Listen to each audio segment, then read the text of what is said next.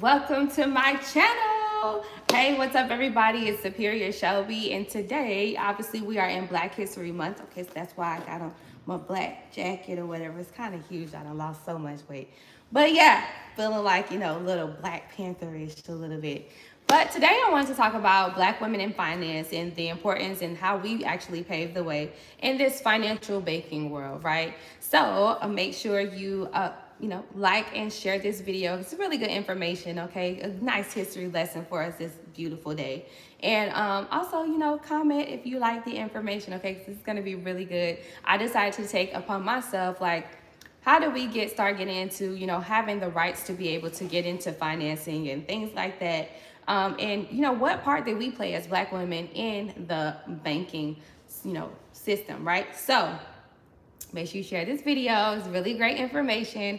And make sure you subscribe to my channel if you haven't already. There will be a hyperlink down below to my Medium blog post to where I actually, you know, post my entire article about this topic, okay? So we are talking about black women in finance. This is a black history lesson for us. So let's get started.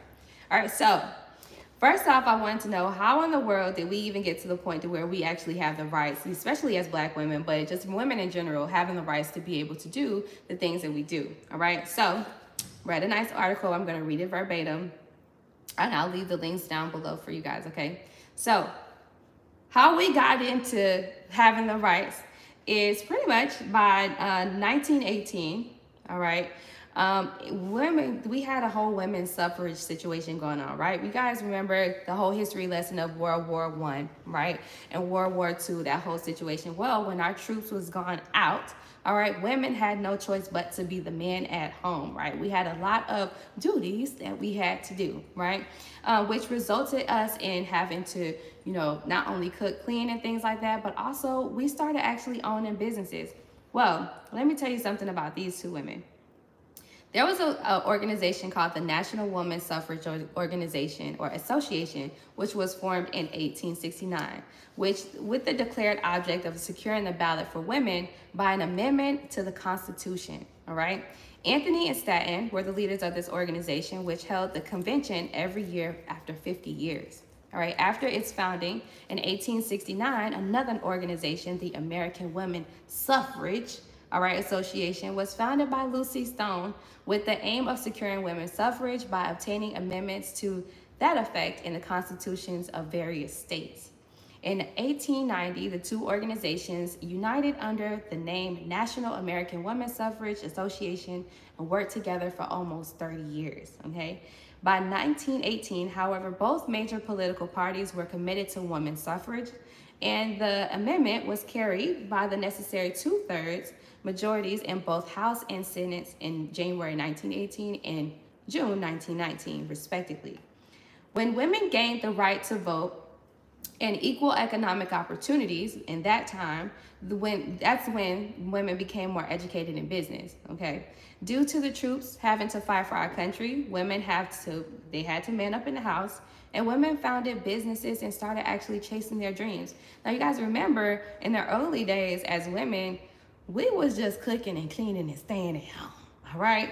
But as the troops had to go and fight for our country, we had no choice but to man up in the house, which means we had to get straight down to business. So that's just women in general. But when we are talking about business and finance and banking, this woman here, Eliza Allen, is something different, okay? Eliza Allen was uh, the only woman listed on the charter of the True Reformers Savings Bank. That was in 1888 and 1910, which was the first chartered African American owned bank in the United States of America. So sis was on the committee, all right, all the way back then. And um, you know, she was born enslaved out there in Westmore County, Virginia, around 1840, and Allen joined the True Reformers when William W. Browne moved to nearly morbid order Richmond, right, which was in late 1880. Um, she organized one of the first three fountains as the Reformers local groups were called. Um, and her success is organizing large fountains for small, relatively unknown organization attest um, assess, sorry, to her long history organizing and running secret societies. So sis was running secret societies back then in the 1800s, okay? In the late 1800s, early 1900s.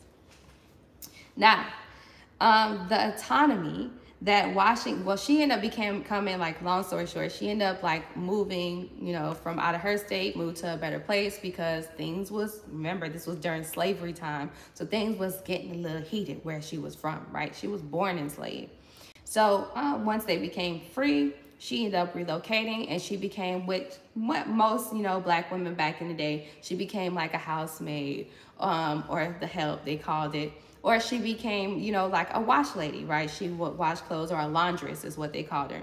The autonomy that washing for pay allowed Allen also um, permitted her time to devote to the African American economic self-help organizations like secret societies. So she was able to be a laundress and then move on at nighttime and while everybody going to speakeasies or whatever you want to call them and the bootleggers and all that good stuff, Sis was going to the American, like African American secret societies, getting her her Black Panther on before Black Panthers was out. All right.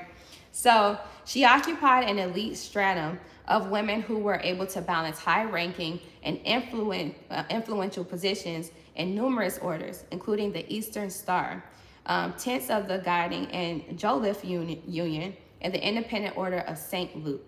Okay, the tireless efforts and committed leaderships of women like Allen allowed many of the most popular societies to build on the foundation of mutual aid. Um, so, sis was literally like the main foundation when it came down to banks and insurance and banks and organizations for black people in banks for in, in just in whole freedom situation, right?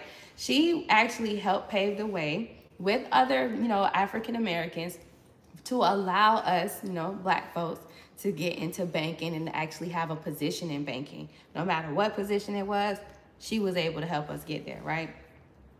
Now, another person that I want to talk about is Lillian H. Payne, all right? Lillian Payne was the banker's banker, all right? You know, I know you guys have heard a lot of like, you know, back then, black folks was so innovative that we were able to actually come up and create different different innovation projects, different, you know, we just paved the way for so many different things that we don't get credit for. She is one of them, all right?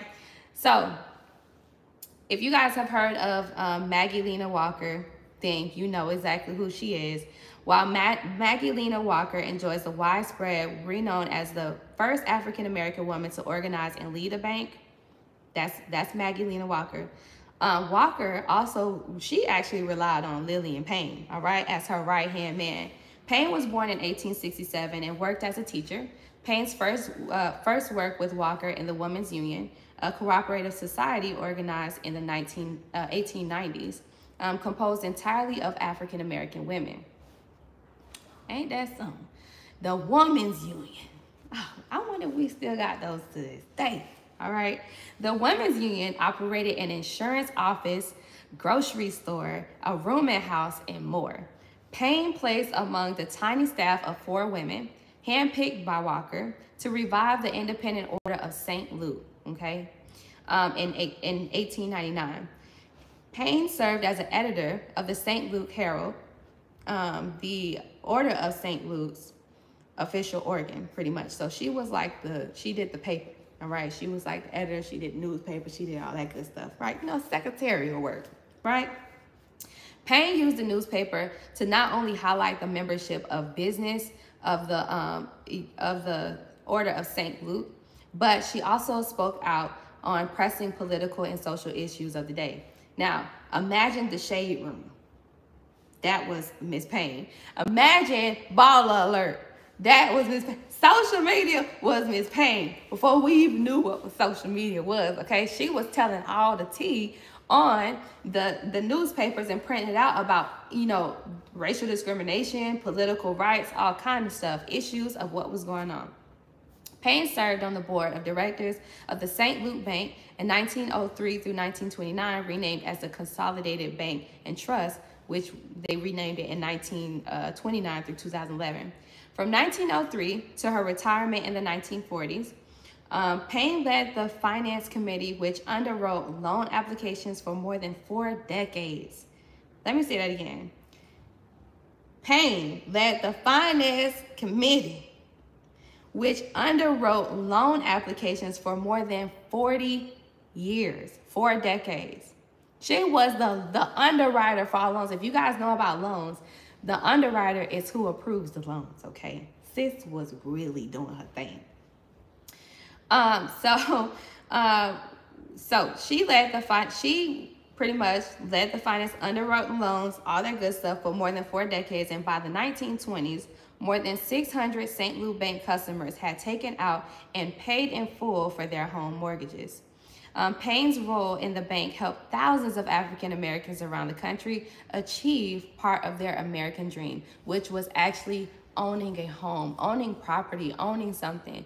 Miss Payne, okay, was not only Miss Lena Walker's right hand man, but she also was a social media queen, with, which was telling everybody what was going on in the city by, by putting things in the paper and stuff.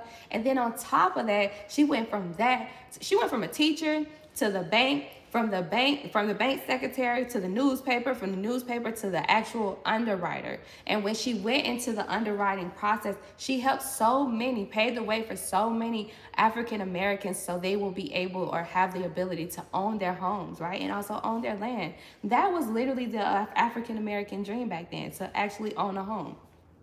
So shout out to her okay and one last person that I definitely want to talk about is Viola Turner. Now, Viola Turner is Black Wall Street's million dollar investor, okay? If y'all didn't know we had a black woman that was in that was in Wall Street before Wall Street was Wall Street, that is Viola Turner, okay?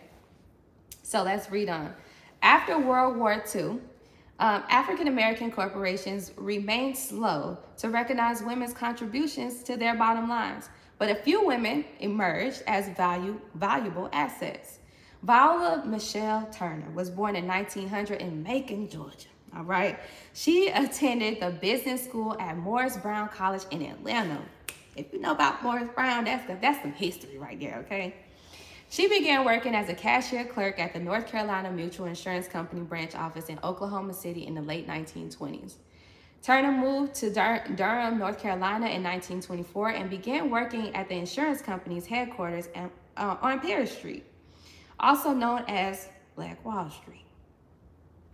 As a uh, secretary to the company's treasurer, her investment advice and portfolio management earned North Carolina Mutual over $1 million. Let me say that again.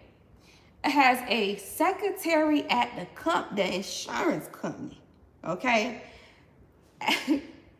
her investment advice, bro, her investment advice and portfolio management earned North Carolina Mutual over a million dollars. Back then in the 1920s, having a million dollars was like having a billion dollars. You know what I mean? Or close to yeah, like having hundreds of millions of dollars, okay? This secretary gave so much of good advice when it came down to investment and she was just a secretary at the insurance company that she made that company a million dollars. She was a very high valuable asset for them. Her financial acumen placed her among the savviest women investors in the country.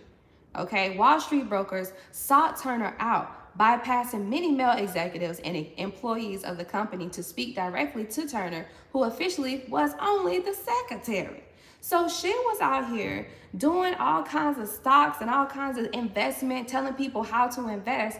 And honestly, men was just getting bypassed because they wanted to see Miss Viola Turner. We want to go see what she believes and what she thinks since she made this company a million dollars. She became well known as a high ticket earner, right? Early on, some men in the company patronized her investment portfolio as Turner's little project, right? She would not have considered herself a feminist, but she pushed for equal pay and treatment for female employees. In 1957, she was elected treasurer and later vice president of the North Carolina Mutual, becoming the first woman executive. She retired in 1965. She was the first woman executive for the uh, North Carolina uh, Mutual Insurance Company. That is dope, okay? And she was deserving of that. Matter of fact, her and her family is deserving of a piece of the company. Mm -hmm. A big piece of the company, okay?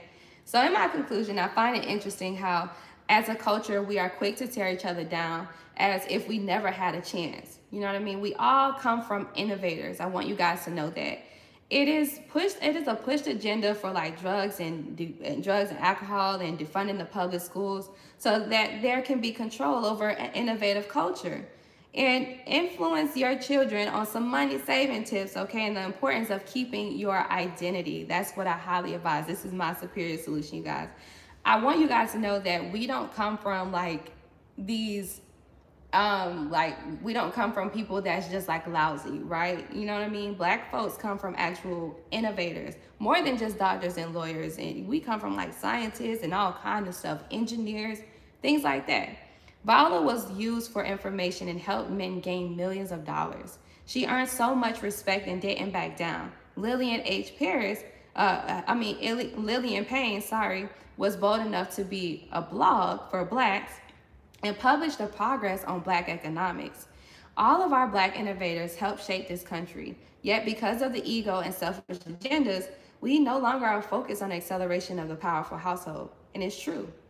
So whether you are a woman of color, all right, white, black, Asian, don't it doesn't even matter. Educate your daughters, educate your kids, uh, and especially especially if your kids are in girl groups and things like that on the history of women for sure. And women are strong. We're strong, we're feminine, we're innovative, we're trailblazers. And without, you know, without us, there wouldn't really be too much business going on, right? You know, we actually birth the men. a woman gives birth to a man so or a son to build the building right so the woman birthed the daughter to run the company that's how i feel so take this advice and let's power up that is my entire article you guys but ultimately i really I really wanted to come to you guys and to like just let you guys know on like you know black history, black women in finance and how we were able to scale up. Not only did we think do things like create perms, hot combs, peanut butter, the light bulbs, okay, and all of that good stuff. But we also paved the way for a lot of our black folks to be able to own their houses, a lot of our black folks to be able to be in certain high high value positions back then, which was like being a secretary or you know being something more than just being the help inside the home, right? Um, because you know before then everybody wanted to be in the house, right? You want to be a house slave in a, in a, in a sense, right? But things we got more innovative, right? Technology, or not really technology, but you know, things kept moving forward. And you know, women and black women especially are innovators for sure. Black people in general, we are all innovators. We all have a really powerful mind. We just have to make sure that we put our our focus on actually being innovators, actually being the the people that we're destined to be, right? So don't allow this social media to drown your kids or drown you, all right? Get off that phone when you first wake up in the morning. Do not hop on social media. Is no, don't do that, all right? Make sure you pray, meditate, and keep it pushing and do what you got to do to make sure you reach your destiny and your goals, okay? Everybody, before you're born, you already have a destiny. All right, you already have a destiny. You just gotta keep going. All right, things might like might look a little bit challenging for you but guess what? God would have never put you in this position. God will never put something more on you than you can't bear. That's something i know at firsthand and you got this okay? You definitely got this all right? I know it can be challenging for us out here but guess what? We live in a society that's already against us period. That's just what it is. And we are not in our actual you know comfortable state all right, this is really not what we're supposed to, this same 95, 95, 95, that's really not us for real, naturally, okay? We are natural innovators, engineers, mathematicians, teachers, healers, all of that good stuff. So make sure you find what's best for you and stick with it, okay? Stick with it. I know it can be a challenging, especially if you guys are just now starting a business, especially if you are in your business and you feel like it's it's sinking, right? You feel like you're at a sink or swim type of situation. Like literally, there's so many opportunities out here. I just want you guys to start changing your mindset, opening your mind, quit the bad habits, and let's focus up on what you need to do in order for you to get to that next point, okay? So Love you guys. I hope this history lesson was really good. All right, really good and really informative for you guys. Okay, make sure you share this to your daughters, to your niece, or, or your little cousin or somebody, so that way they can know the history of black women in finance. Okay, I got my Black Panther, you know, jacket on, all right, with my black hat. So I'm really feeling the vibe. I love you all, and I'll talk to you guys soon. Peace.